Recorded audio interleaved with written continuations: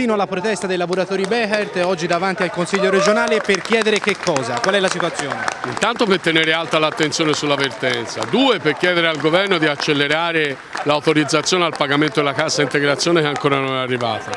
Tre, il 28 ci sarà un incontro, vogliamo essere chiari sin dall'inizio nel governo che a quell'incontro qualora ci sia un piano di reindustrializzazione serio, concreto, questo piano di industrializzazione deve prevedere alcune cose molto chiare, che i lavoratori passano stesse, nel nuovo soggetto, devono avere garantito le stesse condizioni economiche, normative e dei diritti che avevano quando Beherte ha deciso di chiudere e che nessuno può pensare che Beherte se ne va e questi lavoratori pur da accettare il lavoro accettano condizioni salariali e di diritti diversi rispetto a quelle precedenti.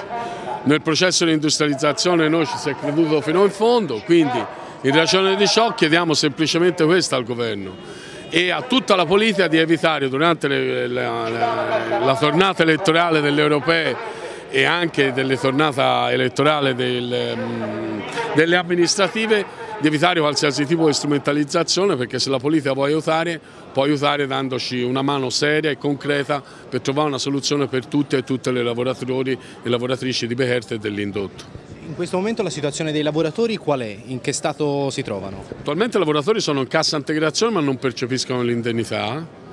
C'è un anticipo che ha dato l'azienda ma che sono soldi dei lavoratori che dovranno comunque restituire in fondo alla fine del rapporto di lavoro. Quindi eh, si attende semplicemente che ci sia un'autorizzazione da parte del decreto di cassa integrazione da parte del governo e però ancora non è arrivato.